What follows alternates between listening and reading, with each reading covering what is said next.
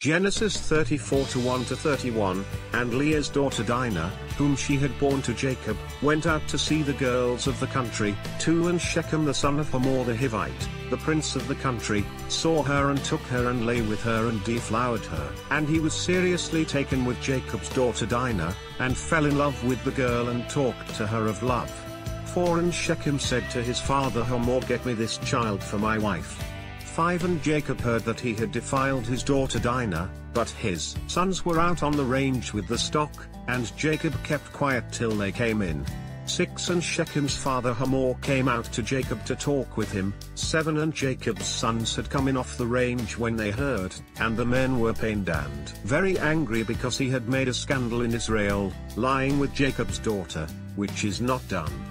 8 And Hamor spoke with them, saying My son Shechem has a fancy for your girl, give her to him as wife. 9 And have matrimonial relations with us, give us your daughters and take ours. 10 And you shall live with us and have the country open to you, trade in it and hold real estate in it. 11 And Shechem said to her father and brothers please do it, and I will give what you say. 12 Set the price and the gift good and high, and I will give as you say, but give me the girl for my wife. 13 And Jacob's sons gave Shechem and his father Hamor an insidious answer, for the reason that he had defiled their sister Dinah. 14 And said to them we cannot do such a thing as this, to give our sister to a man with an uncircumcised body, because that would be a slur on us. 15 We will agree to it on this condition only, if you will be like us, having every male of yours circumcised, 16 and we will give you our daughters and take yours, and live with you and become one people with you. 17 But if you will not listen to us as to being circumcised we will take our girl and go.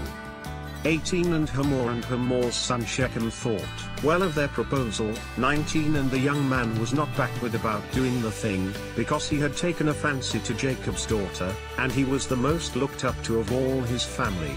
20 And Hamor and his son Shechem went into the gate of their city, and talked to the men of their city, saying 21 These men are peaceable, let them live with us in the country and trade in it, there is plenty of room for them in the country, let us marry their daughters and give them ours. The men will agree to live with us, becoming one people with us. 22 On this condition only, that every male of ours be circumcised the same as they are. 23 We get their assets and effects and all their cattle, do you see, only let us agree to their condition and they will live with us. 24 And all who went out of the gate of Hamor's city listened to him and his son Shechem and had every male in their families circumcised, all who went out of the gate of his city.